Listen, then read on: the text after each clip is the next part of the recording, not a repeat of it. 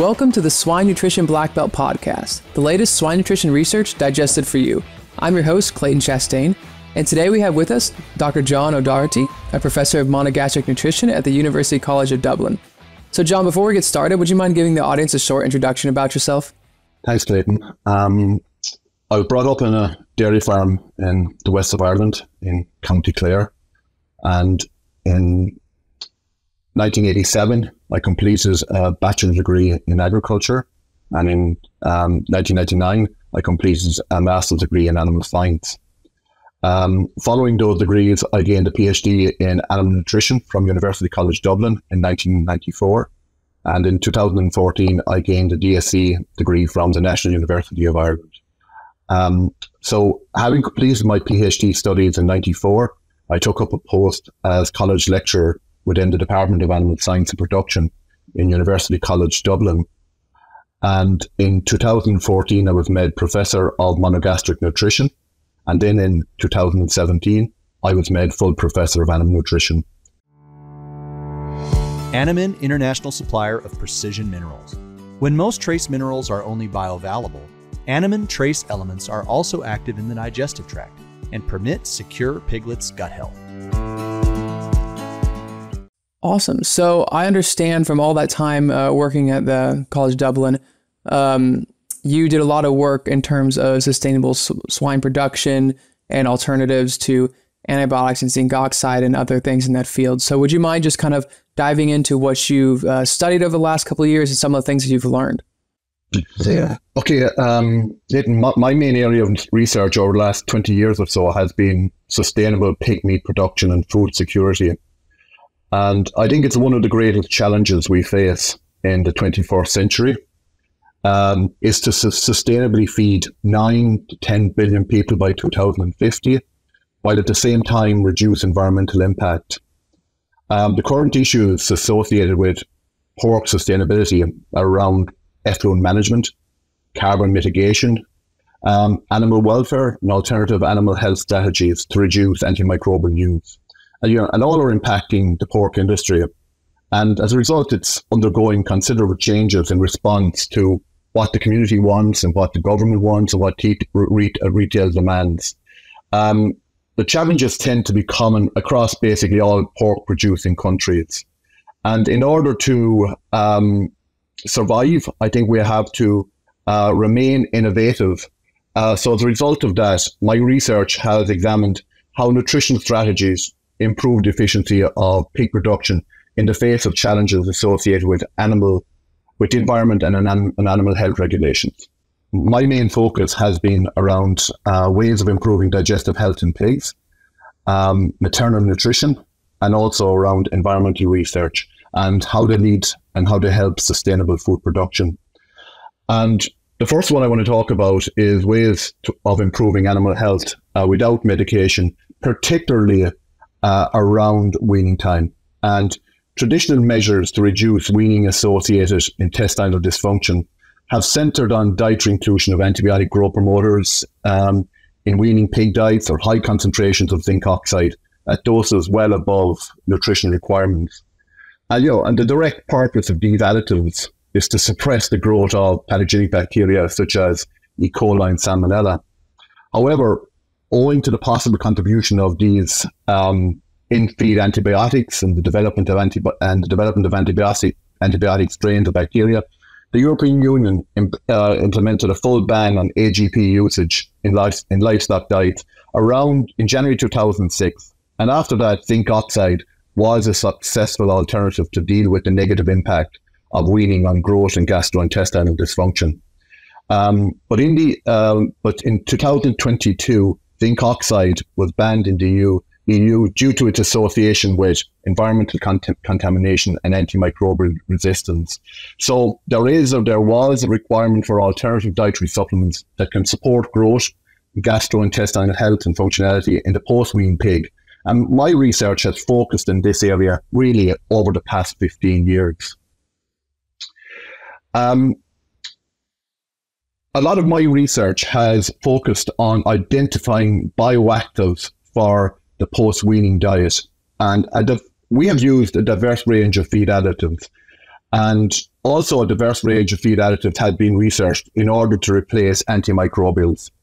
And various natural materials have investigated have been investigated as efficient alternatives to um, in-feed medication and also to zinc oxide. And if we look at the human world, a lot of the modern medicine that we see um, comes from plants. So our research, um, marine macroalgae, uh, we have used marine macroalgae extracts, or for example, make it simpler, seaweed extracts.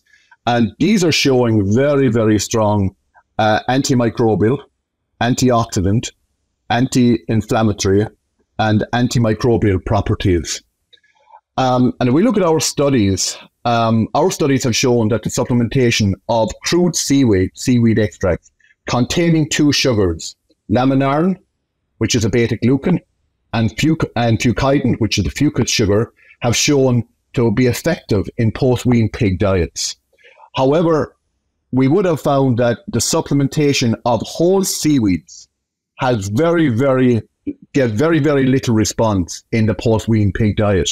So, in summary, that you're getting very, very little response from whole seaweeds, but you've got to extract basically the beneficials, laminarins and fucoidans from those whole seaweeds.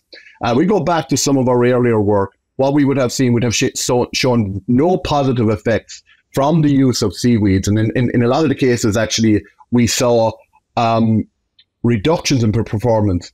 But what we're seeing is that it's the use of the sugars, laminarin and fucoidan that are got from seaweed that these are what reduce basically intestinal pathogens, they modulate the immune system, and they enhance the performance and intestinal health of the post-wean pig in the absence of feed medication. I suppose one of the problems with whole seaweed is that you see such variation in that seaweed.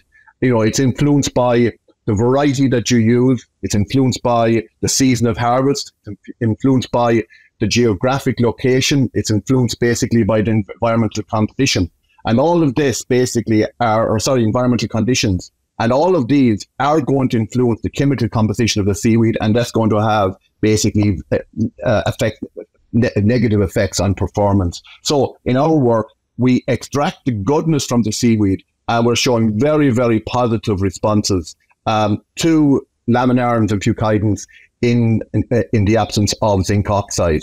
And what we see is that laminarin and fucoidan have very, very strong um, biological properties. Uh, for example, laminarin has very strong prebi- pre- prebiotic activity, and we have shown in our research that it increases the relative abundance of Prevotella, for example, in the large intestine of the wean pig. And we know for, from some published work that Prevotella is very much involved in improved performance, for example, in, in, in pigs. Um, and also, we've shown that it's a very, very good source of butyrate in the wean pig and all the benefits that, that butyrate gives as well. I suppose one of the big problems in this type of research is that um, you've got to extract the laminarin, you've got to ex- extract a few fucoidans from the seaweed. And that is the real, real challenge. And the real, real challenge is in that extraction process. And we would have shown in a lot of work, in a lot of our work, that the extraction methodologies that we use does influence the biological activities. So very clearly is the type of biological activity, sorry, the type of extraction process you use can have a major effect on the biological activity of um, uh, of that seaweed. So, with the use of those um, the seaweed extracts, do you see then a, re- a reduction in post-weaning diarrhea and scours and nursery piglets that's similar to the use of zinc oxide as well? Yes, uh, with the use of laminarin, and I'm talking about pure pure laminarin, we get response very, very similar to what we get with zinc oxide in terms of average daily gain, in terms of food conversion, in terms of final weight. And we also see a, a major reduction in fecal scores of diarrhea. Maybe not as good as what you would see with zinc oxide, uh, but a major depression in comparison to the control. So then what do you think the next steps would be to um, make this make the use of this more um, available and maybe more uh, cost effective because I'm sure like the extraction process is not necessarily uh, cheap, and so there's going to be a, uh, several steps before this comes out on like say a commercial level. But um, before we get there, what would you say the next steps are for this line of research? Yeah, the, the next steps are really around large scaling producing um, laminarin in, in particular. Um, and, you know, a lot of traditional methods that we have that, that are being used to extract laminarin are very, very energy intensive. They're time consuming. They use utilize a large volume of solvents, and the results are quite poor. However, there is new, you know, there's new technologies coming available all the time, like hydrothermal assisted extraction. That is low cost, it's easy to use, and it's environmentally friendly. Um, and it's not that difficult to scale up. So I think there's where future research uh, will be in that extraction process in order basically to meet the biological activities of laminarin. Securing the future of your valuable sow herd begins with your gilts. Gilt preparation is the foundation of the sow herd as well as its progeny, leading to more sustainable swine production. For nearly four decades, our tailored services and multifaceted solutions have ensured lifetime performance from the beginning. DSM offers gilt protection you can trust. Learn more at dsm.com forward slash sow longevity. Gotcha. Well, I'm sure there's plenty more that we could dig into, um, especially it's kind of hard to fit so much work into a, a short, like 10 to 15 minute podcast. But I appreciate you coming on the show and uh, sharing all this line of work with us. Thank you, Clayton. Yep. And to everyone else, thank you for listening to the Swine Nutrition Black Belt podcast. Please visit us at swinenutritionblackbelt.com and don't forget to subscribe to our podcast channel so you won't miss out on the next episode. See you next week. Hey everyone. We're always searching for the latest and greatest research to share each week. If you have a swine nutrition related research trial and would like to come on the show and share it with us, feel free to email the details about your research to hello at wisenetix.com.